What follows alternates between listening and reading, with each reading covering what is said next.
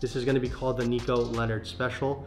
This is the beautiful Murakami Hublot. So check this out guys, let's give it a little spin.